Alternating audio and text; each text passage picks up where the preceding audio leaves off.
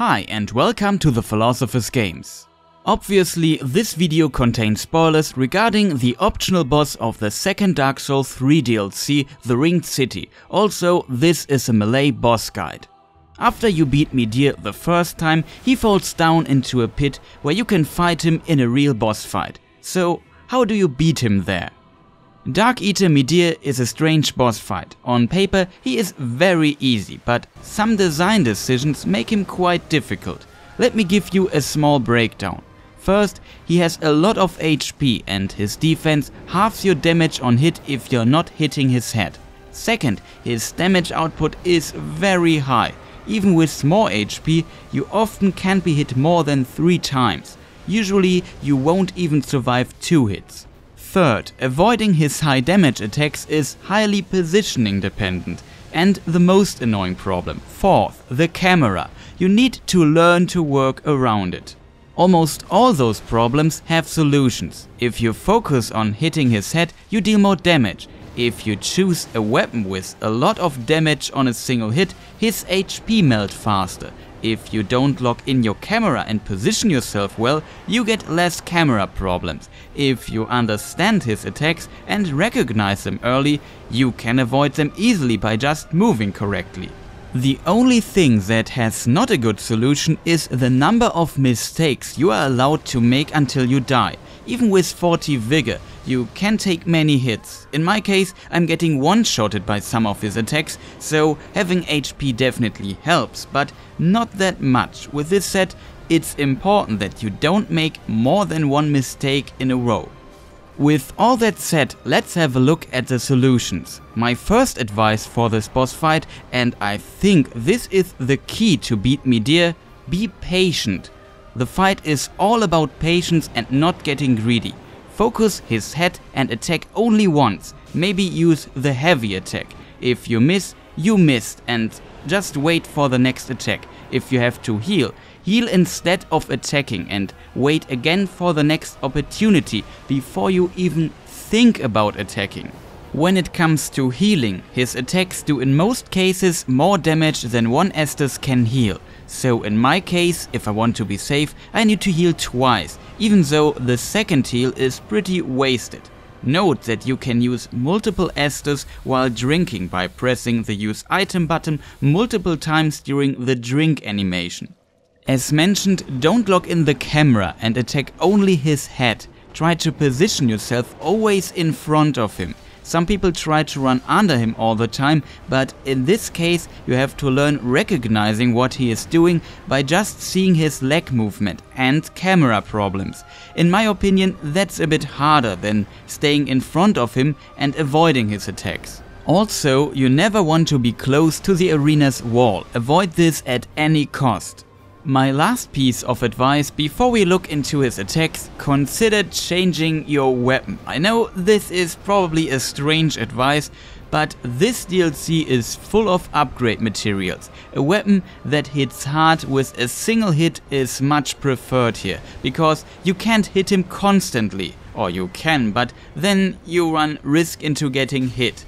This will reduce the time it takes to beat him and as I explained in my A Closer Look at Difficulty video, this means less time for the player to make mistakes, but obviously it's still possible to beat him with any weapon. Let's look at his attacks. Note that this guide uses a strategy where you stay directly in front of Midir all the time if possible, and if he jumps away, you run with him. This allows you to see what he is actually doing.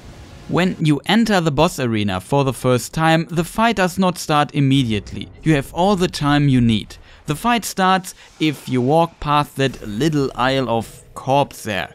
If you die and enter this boss fight for the second time, the fight will start instantly, but in both cases you have time to buff your weapon. Lightning will give you the highest damage output. Also, stamina is not that important here. He always starts the boss fight with fire spitting and starts to run at you while spitting fire. This attack is easy to dodge if you see it early and you let him pass by. You can try hitting his foot while he runs or run after him yourself. When he completes his attack, he will turn around if you are still behind him, but the rotation axis is close to his head, at least when he has a space for it. So to reach the head, you have to be quite fast and under him, but it's possible. Also be careful. Pumping all your stamina into running and attacking will make you vulnerable to possible follow-up attacks, so consider this. The safest way is to attack his foot, getting close and wait what he does next. Midir often uses his standard attack combo if you are in front of him. It is easily avoidable by simply rolling back several times and punishable. You don't even have to hurry. But be careful, he can make it a bit longer and faster. In the longer version, now he slams his head on the ground at the end. You can hear him roaring when he does this, so you can differentiate the attacks but it doesn't change much, just roll back a bit and hit him once. In rare cases, he can add a fire breath to it, so look out for this and just dodge to the side. If you don't reach him in time, don't attack. Another punishable standard attack are his two big swing attacks. They are very slow and you have to dodge quite late. If you get the rhythm right, you can also punish it easily. Midir also has a grab attack. He roars loud, opens his mouth and dashes at you. It's easy to recognize and you can avoid it by just running back. If you have the timing, rolling back in time to iframe it is also not that hard. Usually I combine both, running back and then rolling when he flies in my direction. It doesn't have any follow-ups, so you can punish this attack easily.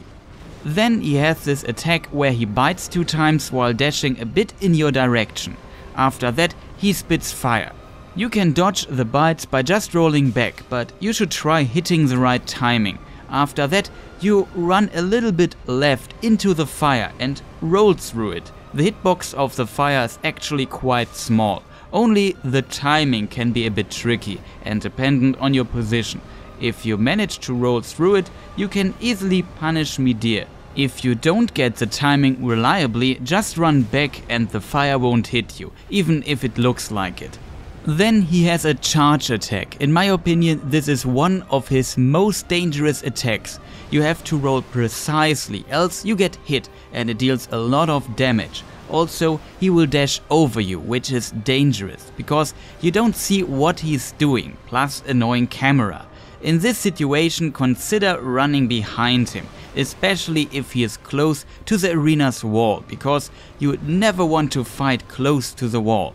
But don't get too much distance, be close to his head when he turns around. If you are not close to the wall, maybe try running to his head and if you were fast, consider attacking once, but it's risky. As you can see, you don't see much and some of his follow-ups can hit you easily and depending on the camera you don't even see them coming. The safest way would be running behind him. Speaking of behind him, he has a tail attack. It's easy to dodge and you can even outrun it if you were not too close, but be careful, it deals a lot of damage. Then he has two single fire breath AoE attacks where he hits the ground. Both are punishable, but one is dangerous. The best attack is the one where he moves his head. The fire hitbox on the ground is gone very fast and you can just run through it and hit him. The other one needs precise positioning. He does not move his head while spitting fire on the ground in front of him until he starts firing an energy beam that he will move through the arena and the beam's path explodes after a short delay. This thing deals massive damage and one-shots me. It's also quite hard to avoid because it's so fast. What you want to do is stand there where it can't hit you. Should you see this animation where he spits fire down on the ground in front of him, you start getting close. Wait at the left side of it don't touch the fire, so when he begins moving his beam, it won't hit you. Now, when the fire fades a bit, roll straight forward a few times and then walk or run to his head. When it comes down, hit him.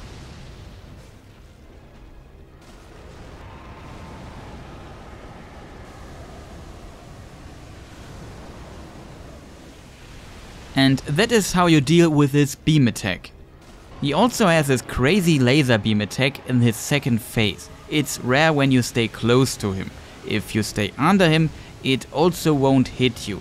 After the attack he lays on the ground exhausted for some time and that is a good opportunity to hit him.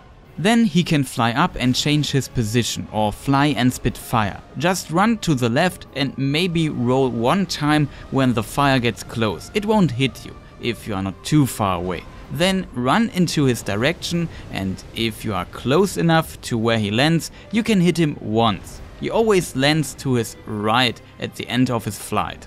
If you get him down to 50%, his second phase starts, where he gets some new attacks, I think there are about 4.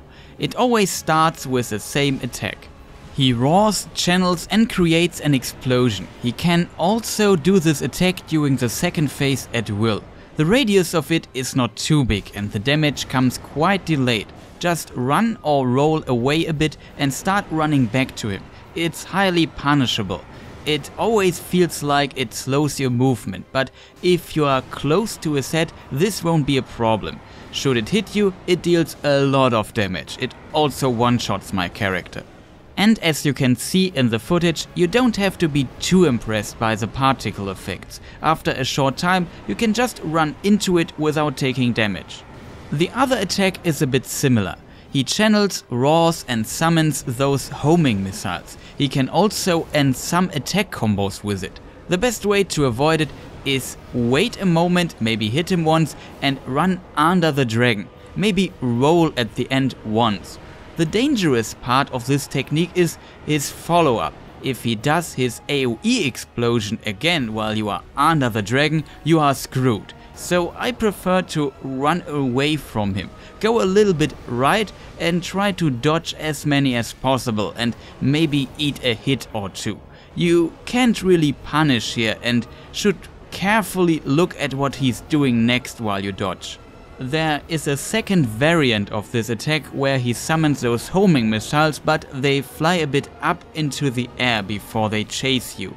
I think this is easier to avoid, just run under them and roll a bit. Look what he's doing next, don't punish here. And I think that are almost all his attacks. I skipped a few because they are very similar or very rare but basically you wait for him to attack, recognize his attack and except for maybe 3 exceptions, dodge then just hit him once with a heavy attack and wait for his next attack. Repeat until he's dead. You won't beat him first try because it takes some time to recognize those attacks, but once you have this and some patience, he is actually quite easy. I hope this guide helps you. If you liked it, consider following me on Twitter for updates or do the YouTube things. Thank you for watching and goodbye.